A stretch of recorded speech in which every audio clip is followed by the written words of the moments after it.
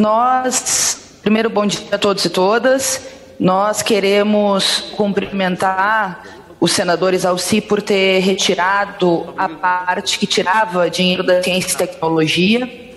Isso, de fato, é um absurdo num país que precisa investir em ciência e tecnologia, inclusive para enfrentar esses tempos dificílimos que nós estamos vivendo. De Covid-19. Infelizmente, Paris ontem teve um recorde de quase de 881 pessoas que perderam as vidas, vítimas do Covid-19. Isso não é um número, são pessoas. E, e, nós vemos um governo que não combate a pandemia, ao contrário.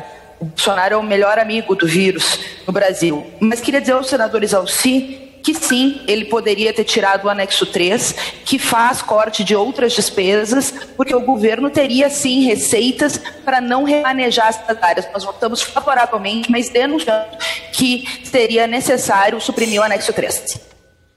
Pessoal, orienta o voto sim.